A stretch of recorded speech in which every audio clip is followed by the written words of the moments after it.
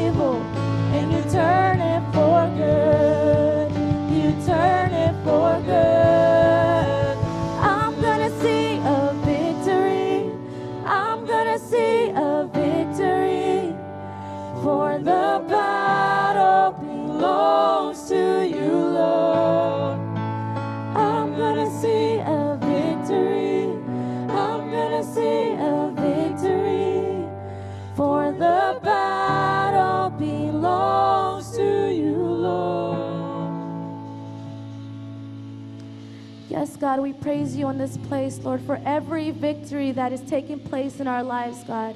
We lift your name higher and higher, God, because we know, Lord, that forever you are lifted high. We thank you, Lord, for everything that you are doing, God. We praise you in this place, God. We thank you so much, Lord.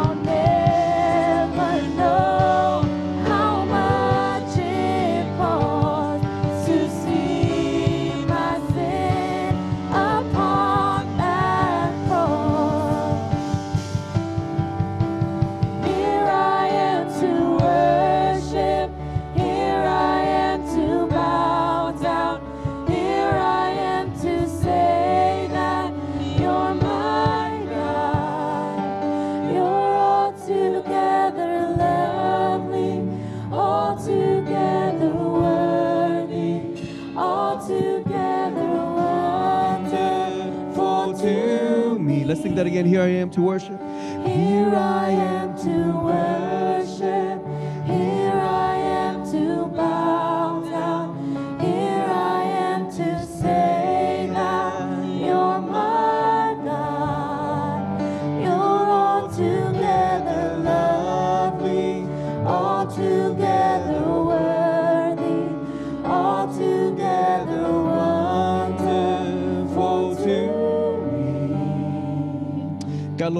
Grateful, God, for you are our God. Lord, this morning we stand before you, God, in praise, God. We stand in this house to say, Here we are, God, to worship you. God, here we are to worship you, God, regardless of whatever took place this week. Or, Lord, here we are to worship you, God, Lord, regardless of the things that have taken place, God. Lord, we worship you, God. Lord, in this world in which things change, God, you are our constant. You are our help, God. You have been faithful to us, God. So this morning, God, Lord, we stand, God, in all of you. Lord, we stand, Lord, in gratitude, Lord. Just recognizing, Lord, that, Lord, you are so good to us, God. May you be exalted in all that we do, God. In Jesus' name we pray. Amen. Amen. Good morning, church. You may have a seat. It is good to see everyone here this morning. If you're a guest with us for the very first time, we want to welcome you here in this place. Or if you're logging online, it is good to have you. We're about to enter a time which we give to God. And if this is something new to you or something different and you don't quite understand it, you can abstain from this part. But um, otherwise, we invite you to join us as we give unto God. This is our place of worship, our spiritual act of worship. To us, worship is not just singing songs to God in the morning, but it is everything that we do. And part of it is to entrust to God and to give back to God the things uh, as a way of us to say, Lord, you can test my heart, but also, God, to show my gratitude to the things that you have done uh, on my behalf, God, and for those around me as well. And so, if you will, just uh, get your whatever you're about to give ready, and we're going to pray for it. You can also go online. You can give to VBC, at vbchouston.com and click on the give button. Or uh, what we do at our family, we use the PushPay uh, app, and that's been something that we uh, are able to do consistently. And um, if you haven't done so already, use PushPay. It's a really easy thing to do. You can do it at any time in the night or during the day, and it's a very convenient way for you to give as well. So let's go ahead and pray and ask God to uh, bless what we're about to receive. God, Lord, we thank you, God, for the opportunity, Lord, to give. Lord, we thank you, God, Lord, for the opportunity, God, Lord, to sow into your kingdom, God. We ask, Lord, that you will bless what we're about to receive. We ask that, Lord, you would multiply, Lord, and cause it to bear much fruit, God. In all things, we're grateful for those who give. We ask that you bless them. Lord, let them see the joy of it. Lord, let them experience, Lord, what it is, God, Lord, to, Lord, give, God, Lord, joyfully, God, with the rightful heart. We're so grateful, God. And Lord, as we always pray, God, give us the wisdom and courage, God, to make decisions that move your kingdom forward. In Jesus' name we pray.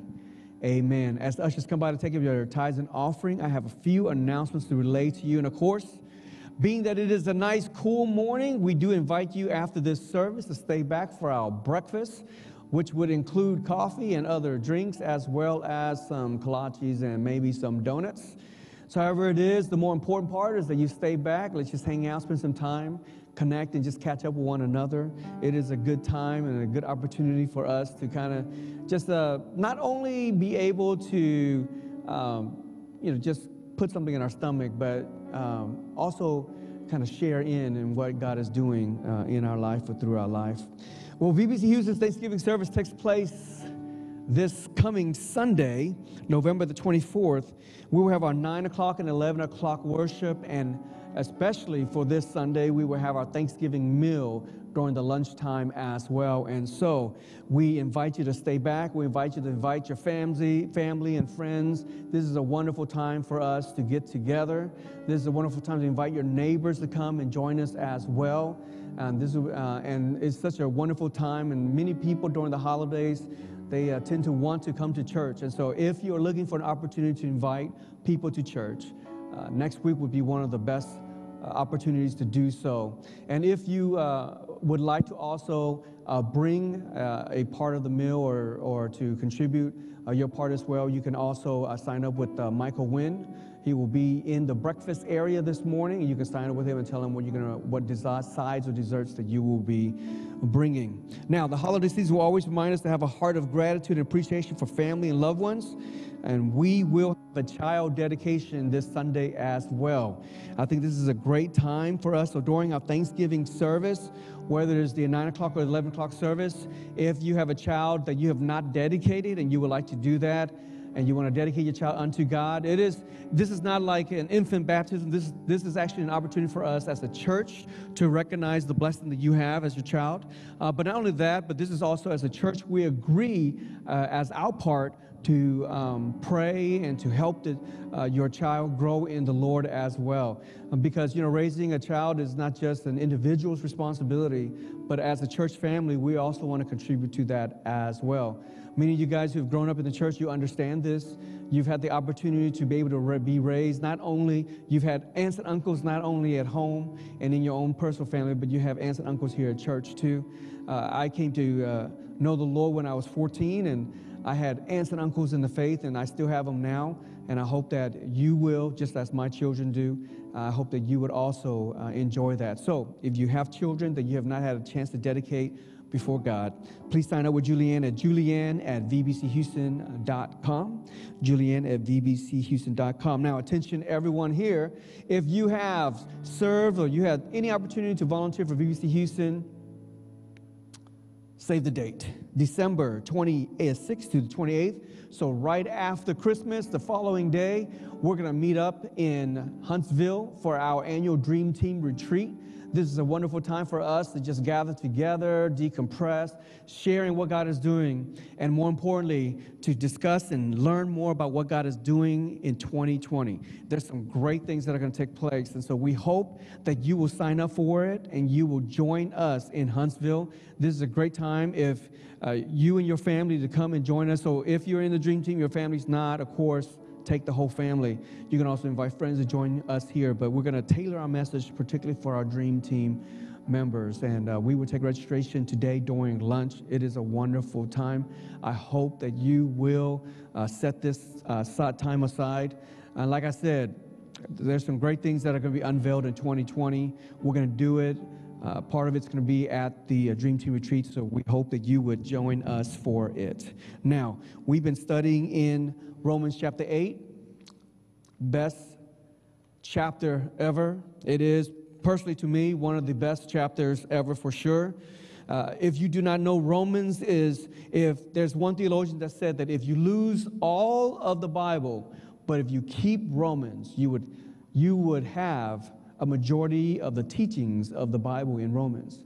If you've ever spent some time in Romans, it has some really deep teachings. But chapter 8, especially, is a beautiful uh, teaching as well as a mandate for believers and how we are to live our life with us, between us and God, but also between us and each other. So in part four, Pastor Khan's going to lay out some stuff for us. So if you will, let's welcome our senior pastor.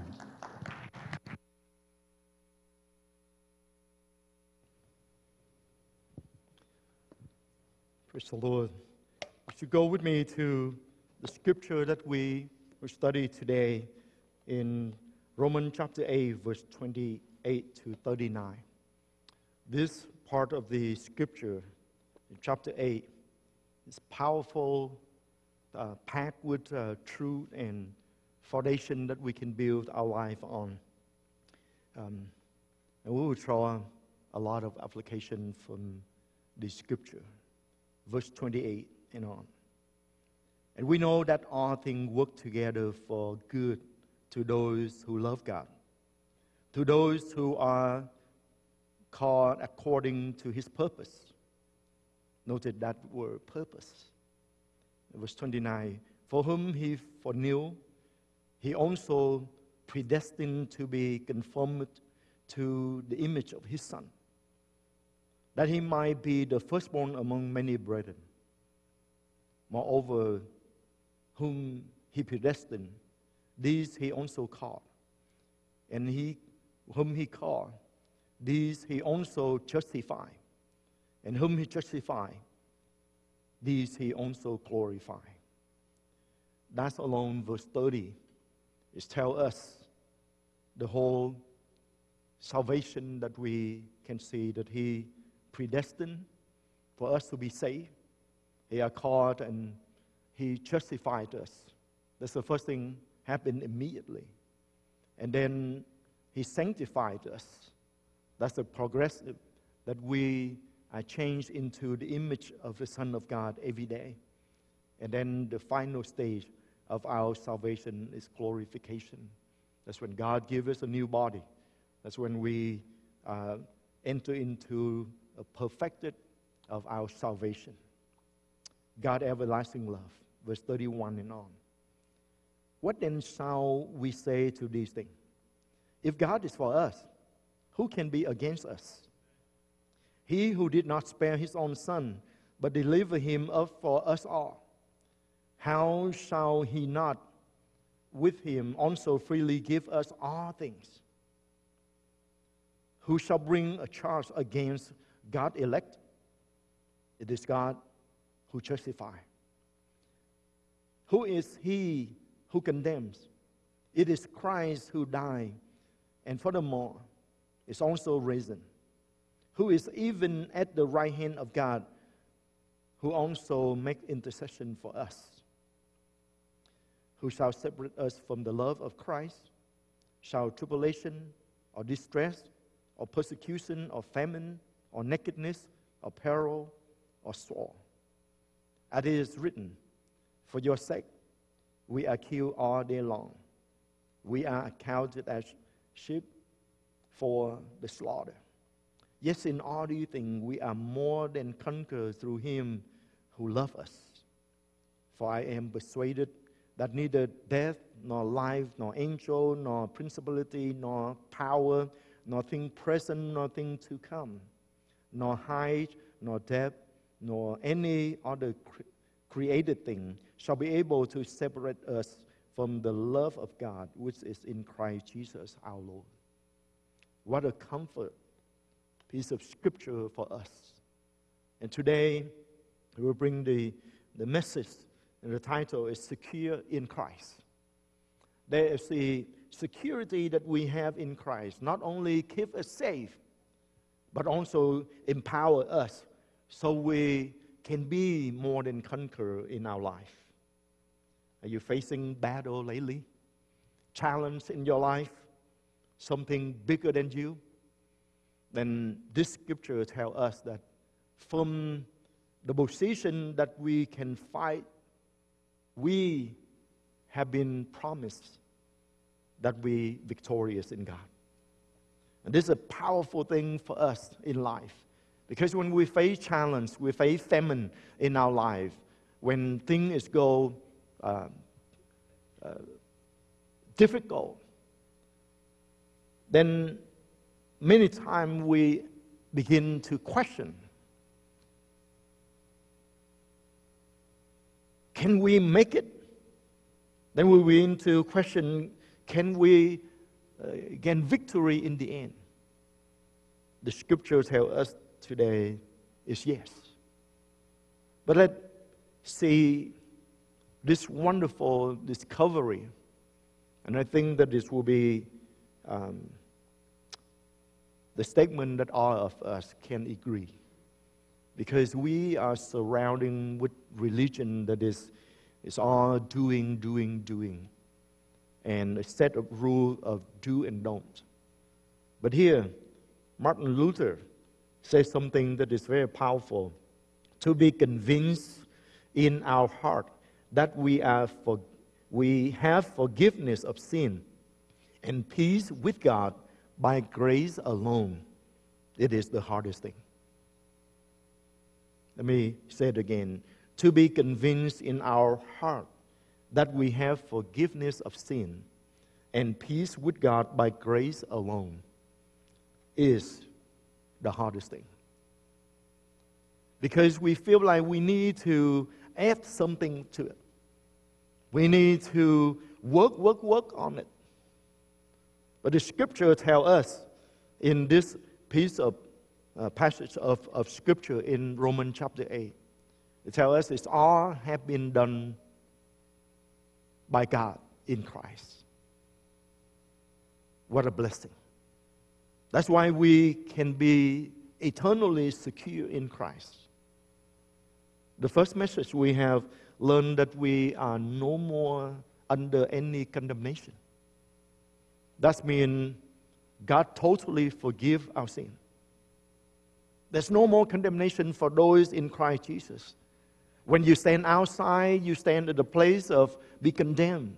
But when you exchange with Christ, you step into His righteous place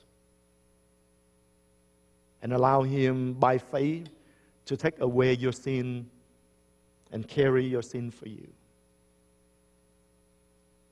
You are justified. There's no condemnation for you.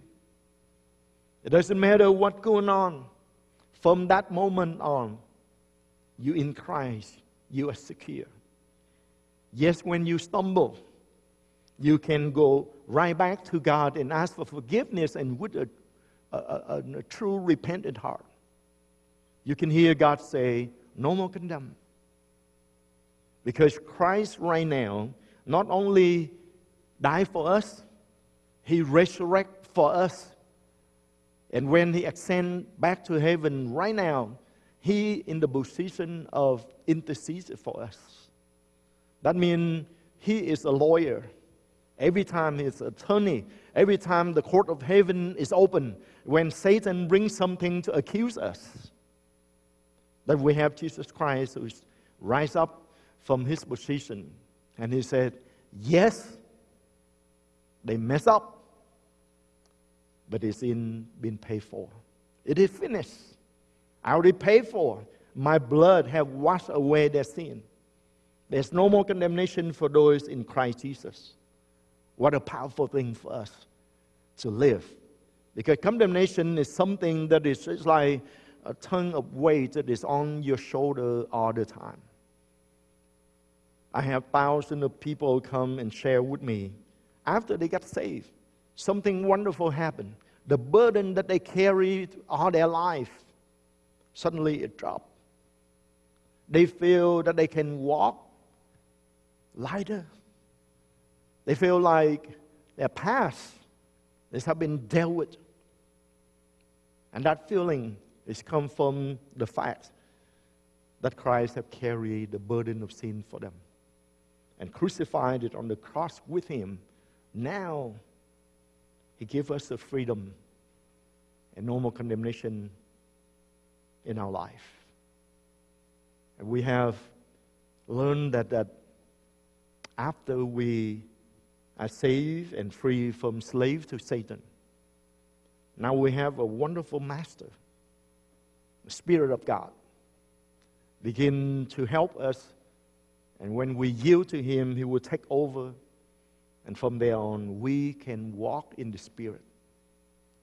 And when you don't want to go back to your old life anymore, you can depend on the Holy Spirit to help you walk in the guidance of the Holy Spirit. And when you do that, this wonderful thing happen in us that we experience the freedom that we never taste before even to the freedom that we have to say no to sin in the past before we come to christ when temptation come when sin lurk around we reach out because the flesh the desire of the flesh in our life, reach out to grab that sin. But now we no longer live according to the flesh, but the guiding, the conviction, and the leading of the Holy Spirit. We experience the freedom that we can say no to sin. Instead of falling right in the trap of the devil, we can say no and we can walk away and know that we don't miss anything, but gain everything because we in Christ Jesus by the leading of the Holy Spirit. The first thing I invite you to look at today is we are held by His purpose. We're secure in Him. And there's a purpose that God has for us. And look at verse 28. This is the, the, the most famous verse talking about ad, uh, adversity that we have in our life. And when we look at this verse, it's bringing us so much comfort, knowing that there's a purpose that God has. And because of that purpose, because we are held by His purpose, we know that in the end, the end of the day, His purpose will fulfill. And He have the, all the power to make this verse 28 happen. We know that all things work together for the good of those who love God, who are called according to his purpose. Praise God. The thing that we see in our life, sometimes tearful, sometimes even our mess up. And we're about to give up because we say, what a use to fight anymore. We can hear from this verse say, wait, wait, wait, wait. We know. And I'm here today to remind you that we need to know. We have to have this knowledge that we know that all things work together for the good of those who love God. Just like we subject ourselves to night study, prepare, to take the exam, to take the test, because we know that all of that work together for our good. That's why we study, that's why we prepare for our test, our exam. And in the same way, God, according to his purpose, he can turn our mess up into something beautiful. Because of his purpose, he can turn things that we think, oh, that's a big loss. He said, no, in him he have all the power to turn that loss into gain for us. What a powerful God that we serve. That's why we are secure in his purpose. We know that all things work together all things work together. When I think about it, it's just like, it's, it's to remind me um, a baker when I tried to bake a cake. I grew up um, in order to get ready to leave Vietnam. My mom and, and, and, and us back then at that time think that when we come to this country, uh, leave Vietnam, we will not have uh, Vietnamese food. So every time she cooked something, every time she do something, he uh, call me in. She say, stand there and watch. You will learn, and someday you will have opportunity to cook for yourself. And then when there's so, some special dish that um, uh, she wanted to teach me how to cook, say, stand there, learn, and I will allow you to have time to practice. Because there will time that you will cook for your wife. And as a man, um, one fourth of Chinese in me. That is very important. A Chinaman have to know how to cook and do well in the kitchen. And we cook. And I remember we come to the place that we want to bake a cake. And it's, it's, it takes time to prepare. Uh, first, we, we get some egg out and then we crack it and put into a bowl. And then we get the, the, the and we begin to beat it up until it's bubble up, until it's all mixed. The white yolk and the red yolk is, is coming in and we, we mix it up. And then we put some, some flour in there. And then we stir it up. And put some sugar in there and we stir it up. And then make sure that we have a couple of drops of vanilla in there and we stir it up. And all of that. And when you take time, you think this is, the egg is look perfect. Why we have to crack it open and then drop it in there? Not only drop into a bowl, but get it up so bad that it's all mixed up. Just like life. Some part of our life we feel like it's look perfect, just as it is. But then things come and it's crack us up. And we spill over into a bowl and life continue to have its way.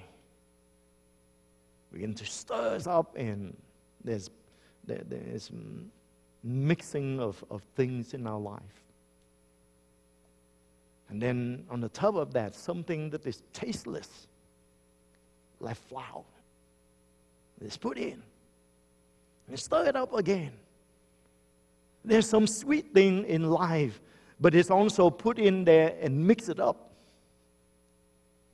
And then vanilla, something that if you just taste it by itself, is bitter. But just drop in there, a couple drop of bitter things in there. And then it put into a mold. Back then, we, we bake on a bed of coal. And this mold is made out of brass. It's have the top and the, the bottom. The bottom, we put the flour in, we, we close it, and we put on, on, on, on charcoal. And then we have some on the lid. Just like go through the fire. We don't like it. But suddenly, thing that is then give out anything that we think is good. Or the beat up, or the mixing up. Now, slowly, we begin to smell the fragrance. Bread, a cake. It's in the process of cooking, and everything is rise up. And by the time with timing that is almost right. We take the lid off and put a, either a chopstick or uh, some bamboo stick. We, we test it. And when we stick in there, it's no more liquidized. But everything is clear and we know that it's cooked. And by the time that you unleash that the way, the whole household is filled with that fresh cake that you just baked. The same way. God would is all his power. Something he used the, the bitter thing of life, couple drop into it. And sometimes we allow things that we have messed up in our life. We allow our life to be all bit up. And he mixed everything together to make sometime something good come out of it. He have a purpose. He have a purpose. Just like a good teacher have a purpose. When he or she give a test, the exam, the pop quiz for the student to do, it's not just to torture them, but to make sure that they learn and retain the information able to recall the information because that is needed in their life. What a powerful picture for us to see. And God doing all of that with a purpose. And that purpose is that we conformed it into the image of His Son. God ultimately have an image of His Son, the Lord Jesus Christ. And He wants to work everything in our life, make sure that we become more and more like Christ. And one day, when we walk in our family, in our community, people from afar look at us, they say, Oh, Jesus walked in our town. But when they come closer to us, they say, Oh, just a Christian. But that's where is also loaded with the meaning and idea that Christ, Chin, Christian, is Christ, the follower of Christ, or little Christ. When we walk into our community, walk into a room. And those he predestined, he also called, and those he called, he also justified. And those he justified, he also glorified. I said in the beginning, this verse, verse 30, is the essence of the gospel and salvation that we receive. That we can be justified. Sinner can be forgiven. And we are declared righteous in God's eyes when we accept Christ to be our Lord and Savior. That means we call Jesus Savior, save me. Christ, the anointed one, come and bring, bring power to change, to transform my life. Jesus Christ, come into my life. I receive your salvation, and as soon as you do that, the scripture tells us here that we are justified. We are forgiven. It's happened right away. We are justified. And then we see the, the, the, the next stage is sanctification. It's a process that the Holy Spirit working in our life, the process that's God working in our life, make us more like Christ every day. That's the sanctification process. And it's happened as soon as we get saved until we see Him face to face. Sanctification. And then the third one is glorification, is when God not only justify us and those he justify, he also glorify. He will give us a new body. This old house one day will lay down. And God prepare a new house, a better house, the house that will never decay, a new body that God prepared for us. And when we enter to that, that glorified body is the last thing that salvation brings into our life. And that is how we know that we are secure in God because of His purpose. His purpose. So we know that we are son of God. We are children of God.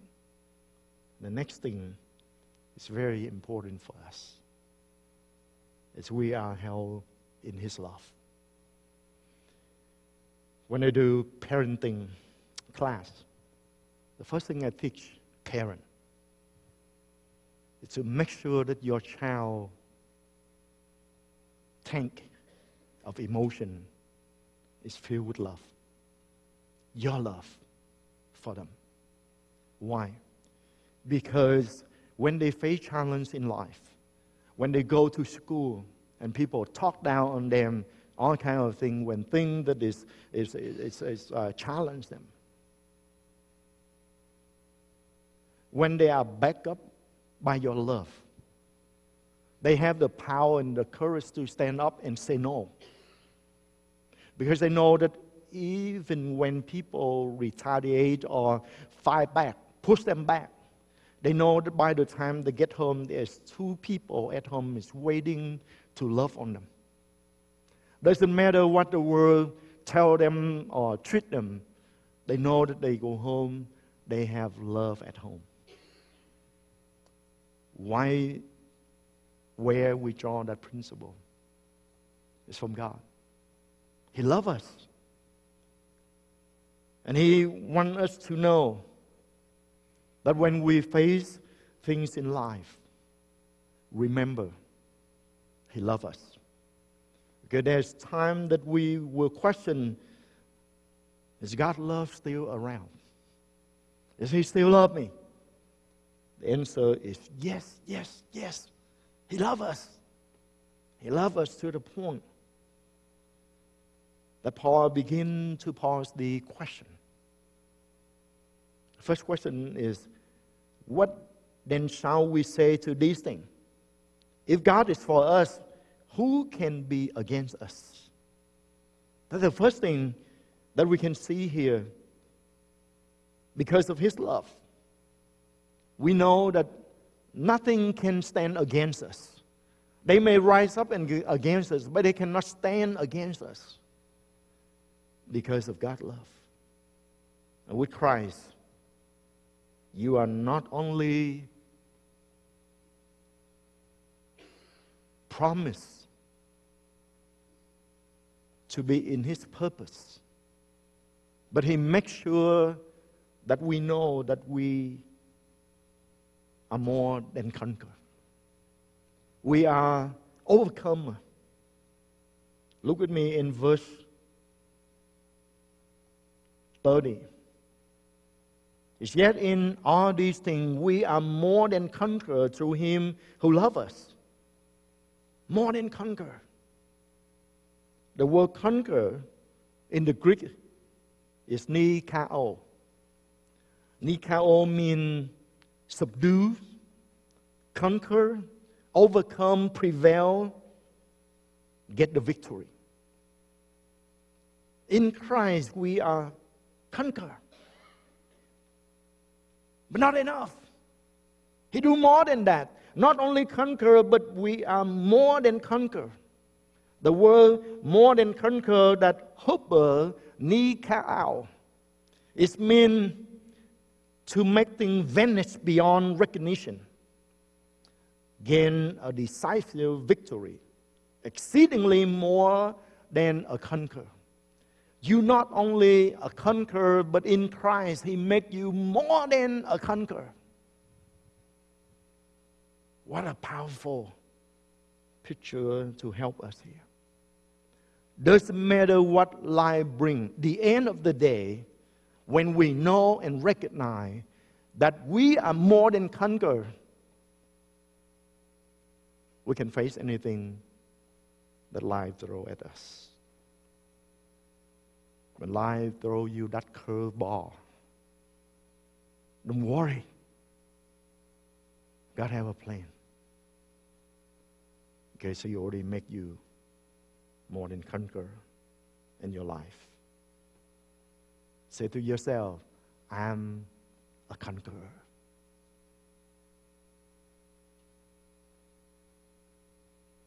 Many times when I minister to people, especially deliverance, cast out demon. The demon in them begin to speak out loud and challenge who you think you are.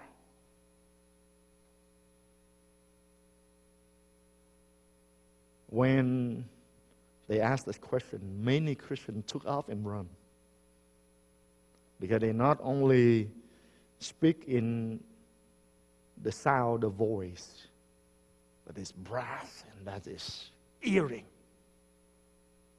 It's just like the way that their eyes express. It's just like, who you think that you are? Praise God. I knew who I am in Christ. I'm more than conqueror. So I shout back, I'm a son of God. I'm here to destroy your work. Get out in the name of Jesus. And just like that, many times they say, We know, we know, just asking. See, sometimes the devil bluff at you.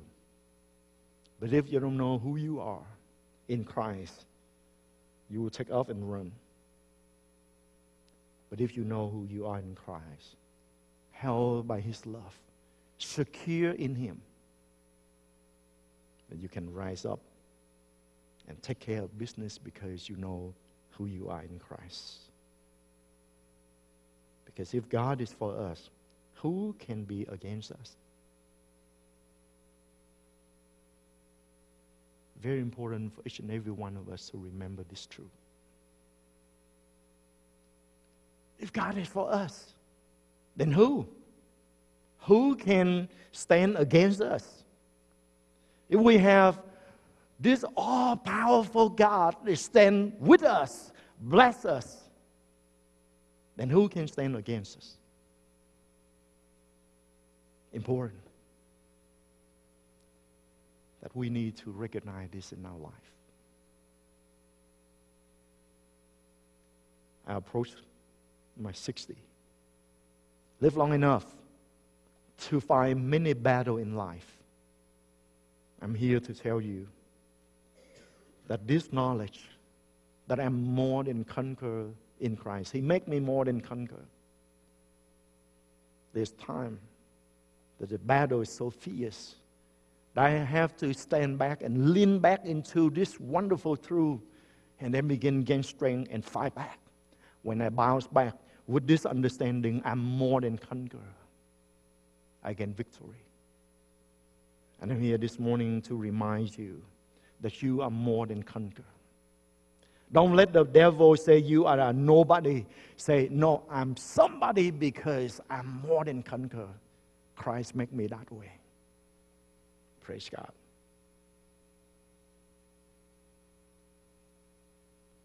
Not maybe. Not you will be. But here the word of God emphasis for us. But you are more than conqueror. I hope that you will practice like I am do in early days of my walk with Christ. I stand in the mirror every morning.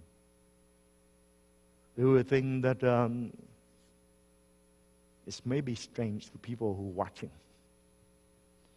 That's okay. You can close your door and begin to look into the mirror and begin to tell yourself, I'm more than conqueror. I'm victorious in Christ. I am who God say I am. There's many times I prepare for the battle, for the ministry. But then back in my study, I'm walk around, remind myself that I'm more than conqueror. With his help. With the position that he gave it to me, he put me in the place that he made me not only a conqueror, but more than that. That means he empowered me, he will back me up. and He will be with me all the way. That's comforting. Because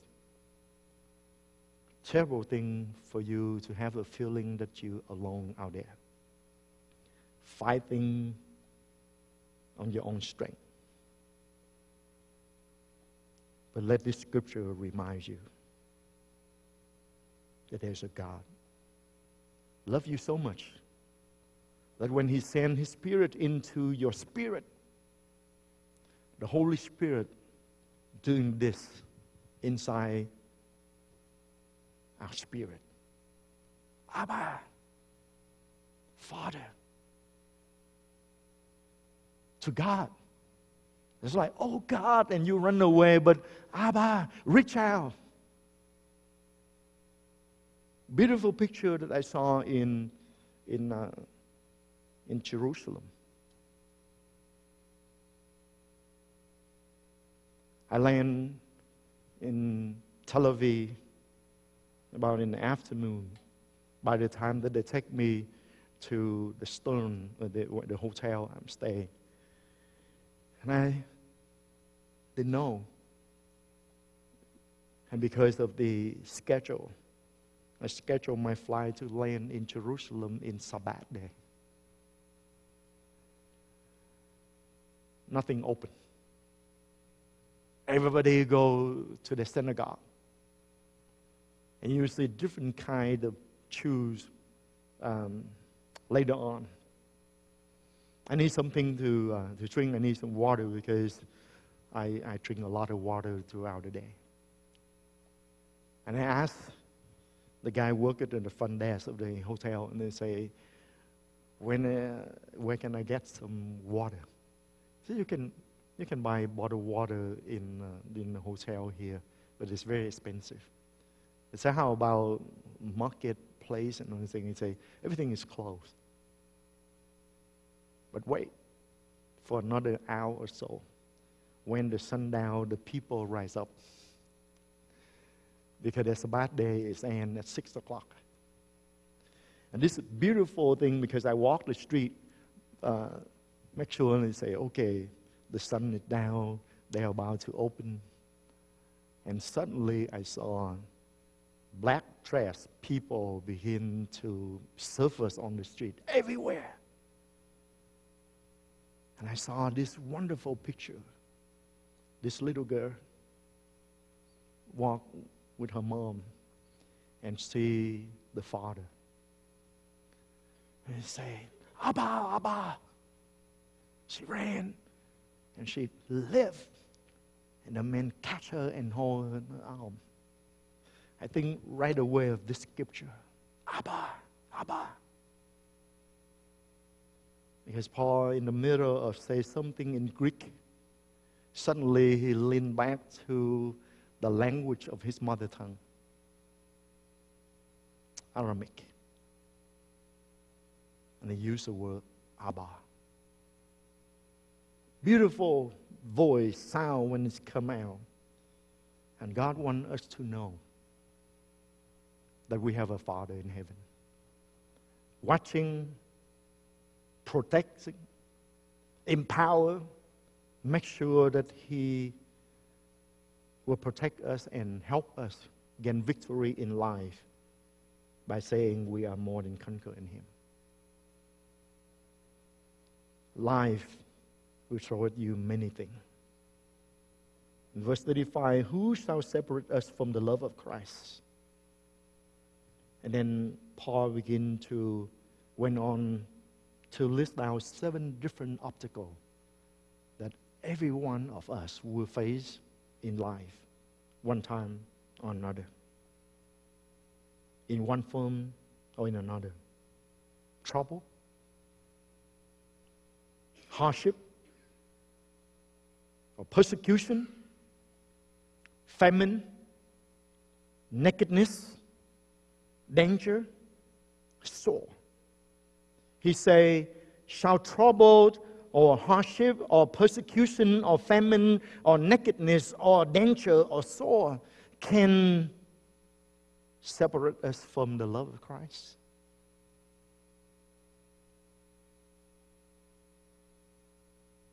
Although this was asked 2,000 years ago, nothing had changed much, right?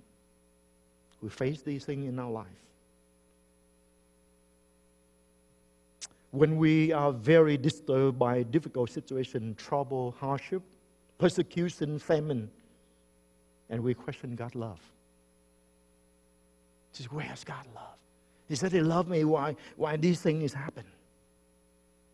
When you are going through famine, lacking, or financially, materially, or emotionally, or when we are derived of what we feel we need.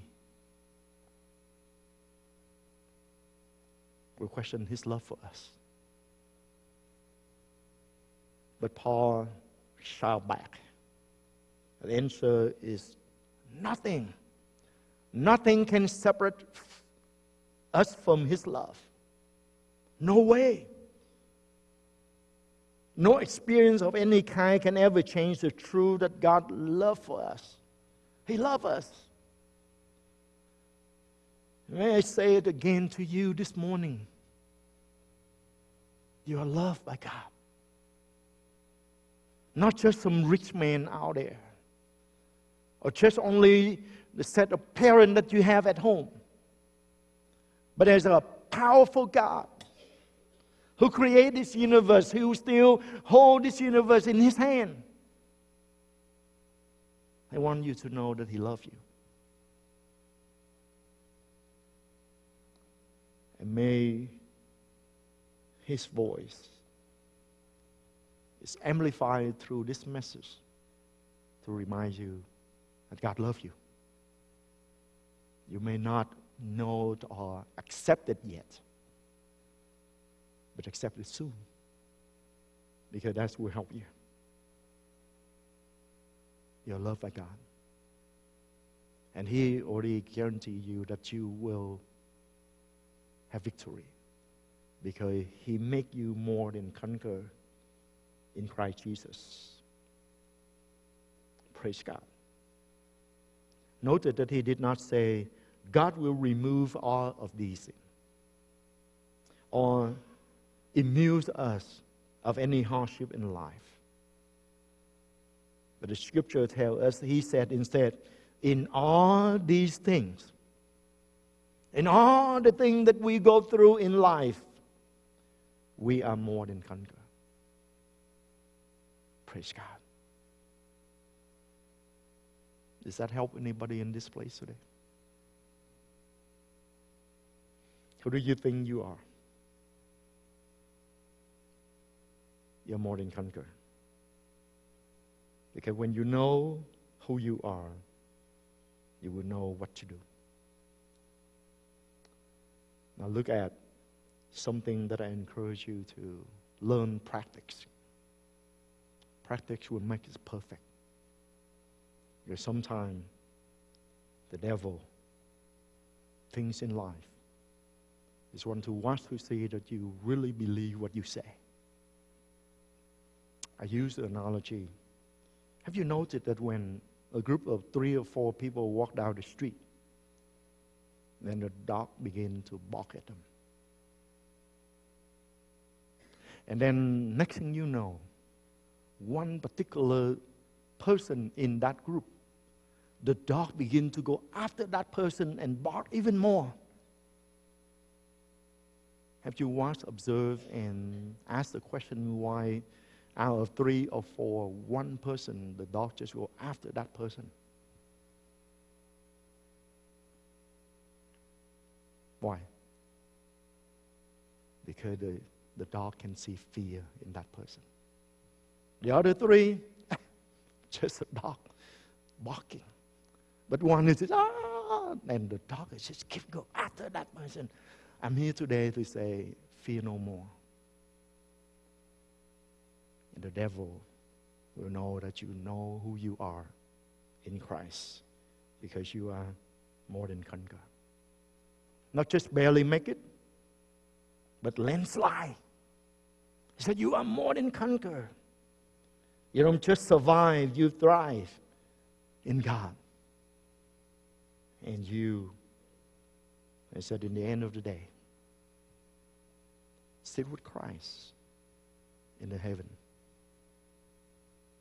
There's a wonderful, wonderful thing that's happened in your life as soon as you got saved, accept Christ to be your Lord and Savior. Jesus had promised us and tell us in advance things that we will face in life in this world. John 16, verse 33. In this world, you will have trouble, but take heart. I have overcome the world. Take heart. God already, Jesus already overcome the world. Jesus said, In this world, you will have trouble.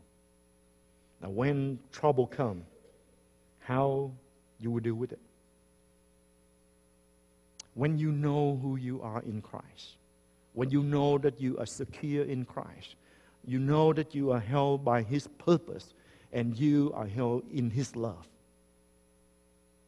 This is how you will fight the battle in your life. You will push back. You will fight back because you know who you are in Christ. Like David, act like one.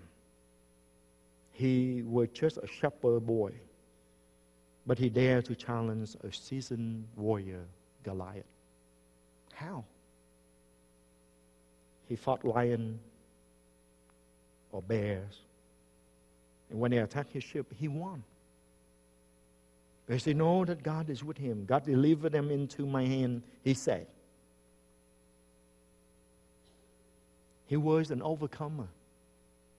That's why when he deal with things in every day in life, and then when this opportunity come for him to fight on behalf of his nation, the people of God, this shepherd boy can stand up to this giant and say, if God is with me when I find the lion, the bear at home, this uncircumcision, this warrior of the Palestine will going down. And he fight from that position. He know that God is with him. Do you believe this today? That you are more than conqueror. You're secure in God's love. And when God is staying on your side, He bless you, then who can curse the person that God bless? Who can stand against the people that God for? Nobody. Make sure that you know and walk in that understanding and knowledge. As an overcomer, you fight from Christ's victory.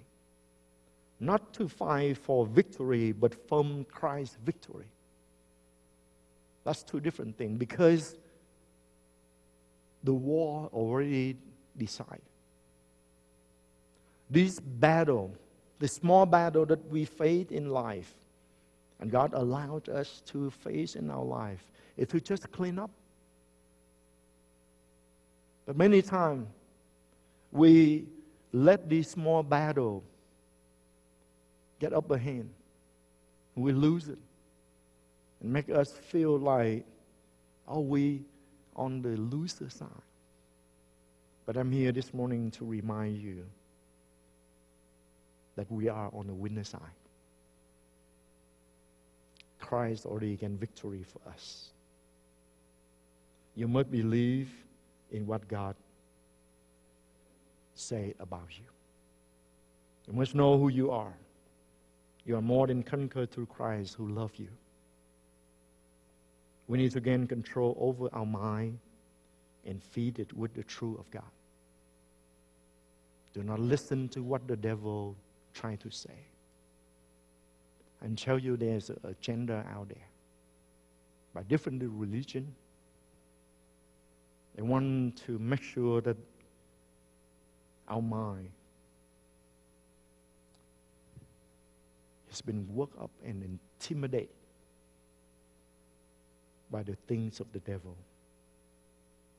Wonder why? more and more you see come around Halloween time. Horror movie. Crazy thing is going on. It's like the whole world, especially Hollywood, it's just like they praise up the work of the devil. And I see parents begin to dress up their children, walk around with um, skeleton, with devil face, all kind of crazy thing going on. It's like there's an agenda that they, they want to elevate this picture of the devil. But I'm here to remind you that there is a God that live inside of you. He's greater than anything out there. And He make you more than conquer. You are the child of God, greatly loved by Him. And you can do all things through Him who gives you strength. Nothing can stop you when you understand that. What do we do? The scripture tells us that when those thoughts come into our mind, and if we not demolish them, very soon they become a stronghold in our life. We walk in fear. But here, 2 Corinthians chapter 10, verse 5 said, We demolish argument and every pretension that set itself up against the knowledge of God. And we take captive every thought to make it obedient to Christ. Every thought that is make you fearful. Any thought that tell you that you are a failure. Capture those thoughts. Make it subject, obedient to Christ and say, no, Christ said that I'm more than conqueror. Christ said that I'm victorious in Him. You force every thought in your mind to align back into God's Word. This is what I'm trying to do this morning to help you. Take everything and lie back into the Word of God and say, subject to Christ. I'm more than conqueror. I'm better than this. And I already guarantee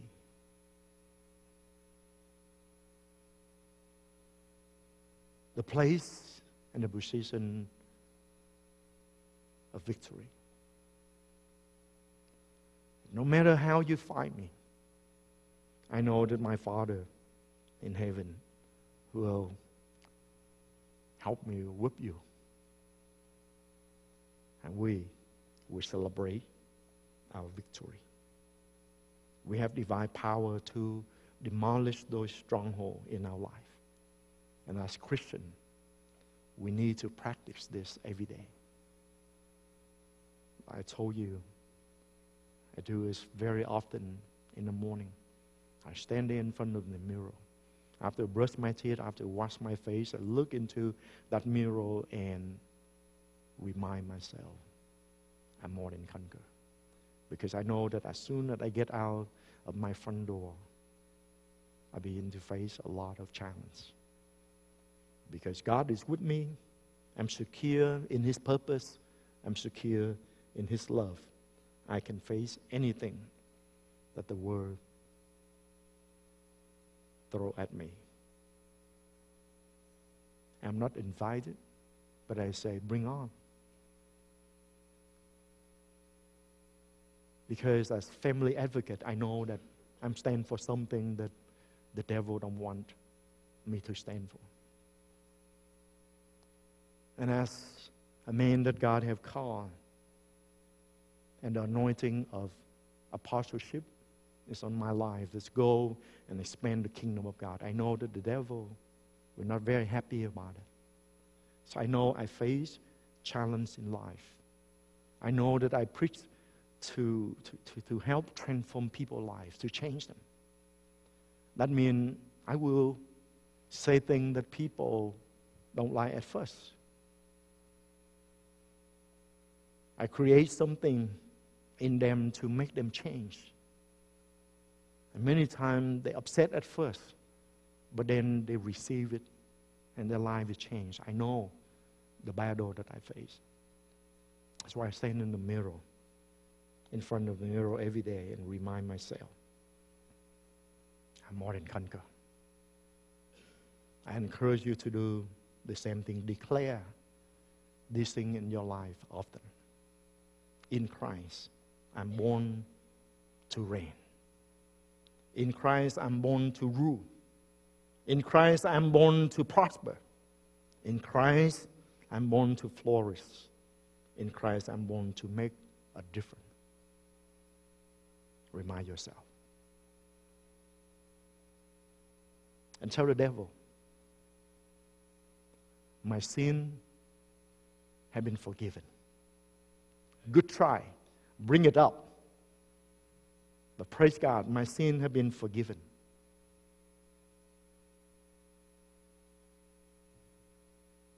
When the devil remind you you are a sinner, you turn around and tell him, that encouraged me a lot. Because Christ come to die for sinners. Good try. Respond in the way that God helped you. My sin have been forgiven. I'm a righteous of God in Christ Jesus. The favor of God abound toward me. I'm blessed. I'm chosen. I'm adopted. I'm accepted. I'm redeemed. I have knowledge. I have inheritance. And I'm also co heir with Christ. So I'm blessed. I have the Holy Spirit. I live by the Spirit. I walk in the Spirit. I sow in the Spirit. I follow after the Spirit. And He is the Spirit of truth. He will make the way for me to walk in holiness. I can do all things through Christ who strengthens me. In the beginning when, when I say these things, it's just like hesitate and say, What? I can do all things? Yes. So say it as you believe it. I can do all things through Christ who strengthened me. By my God, I can live over war. By my God, I can run through a troops. I am more than conqueror. I'm unstoppable. I am invincible, I'm strong, I'm stable, I'm fruitful, I'm prosperous, I'm healthy, I'm wise because the divine wisdom. And declare to yourself and everything that tries to listen in, I excel. I excel in wisdom. I excel in knowledge. I excel in understanding. I excel in my walk with God. I excel in my ministry. I'm excel in my family. I'm excel in my marriage. I'm excel in my health. I'm excelled in finance. I excel in my career. I'm excel in my business. That's who you are. May God help that this message will come and reinforce you. Just like I described, there's sometimes when the battle is so fierce, I have to step back and lean back to this wonderful scripture and say, hmm, yeah, but God got my back. I'm more than conquer. You know, when I study martial art, one of the things that my master tell me, if you face a group of adversary, they want to attack you. The best thing for you to do, to do is stand and have the wall cover your back. At least you minimize the people attack you from the back.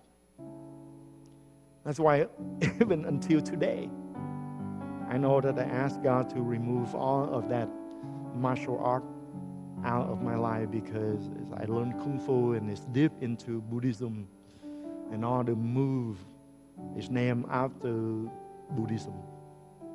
So I ask God to wash away all of that.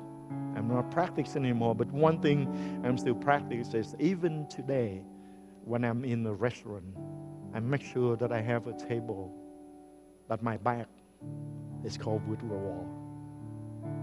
I want to look out and see things up front. May God help that this scripture that we learn today and the understanding that God make you more than conquer. You are secure in Christ. You are held by His purpose, and you are held in His love. And when the enemy tries to attack you, lean back and let God cover your back. And then from there, you know He will tell you how to fight back with that foundation that you understand that you are secure in Christ. I have enough trophy to share with you that is work. It's work for me and work for thousands upon thousands of people who understand pre- these principles that I share, I thought, and I teach them. Now is your turn. Do not walk around feel defeated. Do not walk around question where's God love? God love is still there. He loved you so much. You say how and where. Most of the time, I step aside and I say, look at thing from my back. The cross. It tells us how much God loves us. At home, I used to have a picture, make out of uh, mother pearl, with the question, how much you love me? Question mark. And there's a picture of the cross. And underneath the description, this much, he said. He spread out his arm, nailed to the cross, shed his blood to the last drop because he loved us so much. And because of that, he make us more than conqueror in Christ. Our sin have been forgiven. We are secure in God. Not only a few years in our life, but to eternity.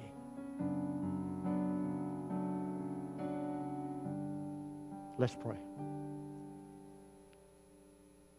Is something that you have faced, there's something in your life right now an obstacle, an addiction, a relationship need to be mended, a fear, something that is blocking you, is overwhelming you. You want to ask for God's help to be an overcomer. We ready to stand with you. pastor and leader in the house want to pray with you. Not to gain victory, but from the victorious position that we have in Christ. Praise God. Just like on Friday, we see a lot of young people have respond to the message.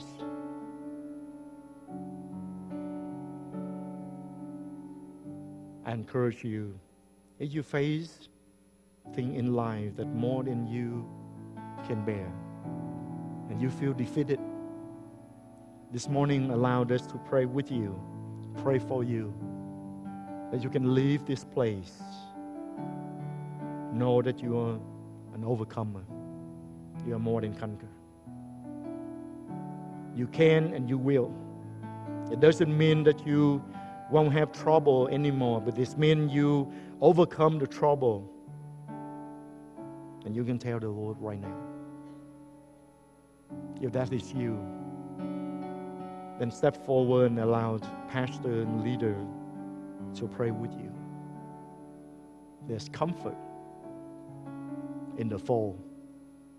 We have some shepherd in the house want to stand with you and pray with you.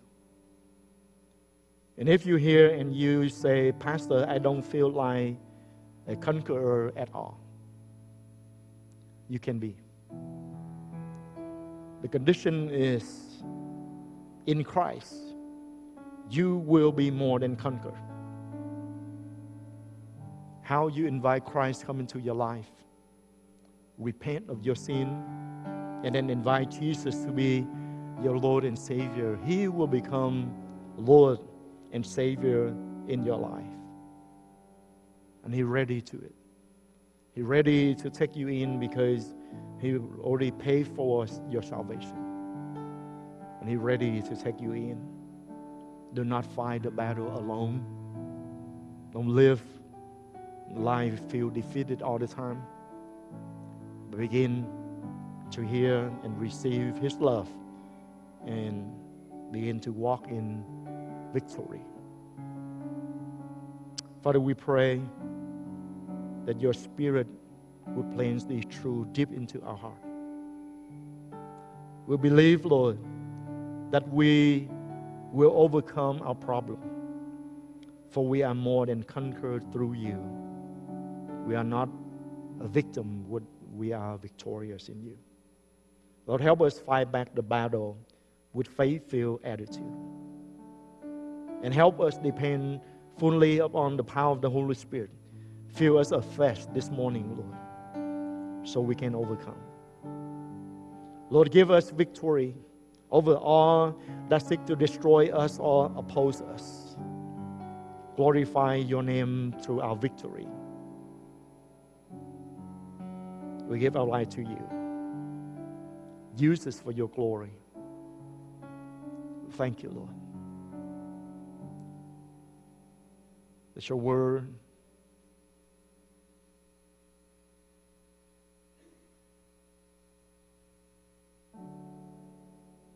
announced to us this morning.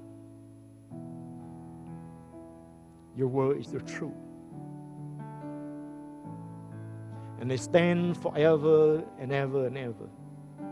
Heaven and earth will pass away, but your word your truth will stand forever, and your truth say, We secure in Christ. Thank you, Thank you, Lord, that you have a purpose for our life. As the rest of us who have known that we are more than conquer in Christ we yield our life in your hand. Confirm us every day to be more like Christ. Because our community, Houston and surrounding city, needs to see Christ walking among them. Our company need Christ walk into our company. Our school need Christ to walk around in our campus. Ask that you will confirm each and every one of us to be more like Christ every day and allow us to be the reflection of Christ for our community. We thank you, Lord. We love you and we praise you. Thank you for assure us this morning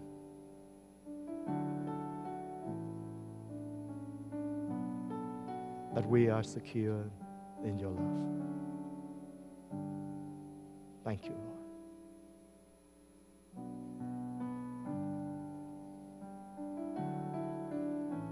We ask these things in Jesus' name.